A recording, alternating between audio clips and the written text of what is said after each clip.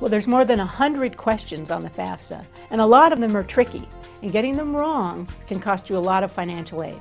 So here are three of the trickiest questions and how to answer them. Question number 24 asks about the schooling level of the parent. Now that may seem simple, but actually there's a lot going into that. If you have a parent who went to college but did not graduate from college, fill in the bubble that just says high school because that's the last grade that they finished was high school. But it means you might qualify for some additional aid because some scholarship foundations have aid specifically for students who will be the first ones in their families to graduate from college.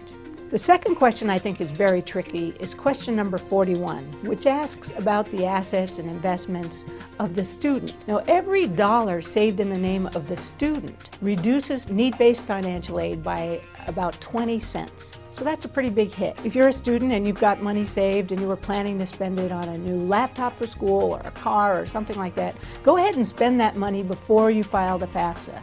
Then reduce the amount you've got saved because you spent it.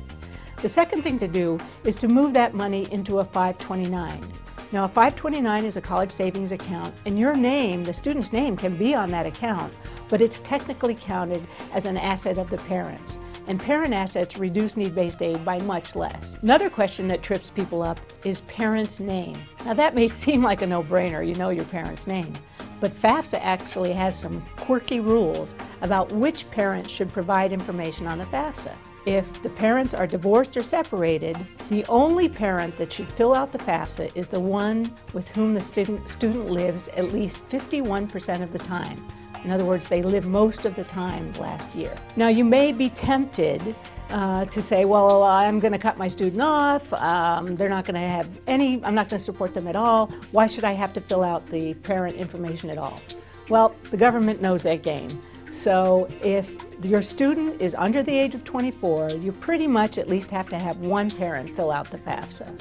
There are some exceptions.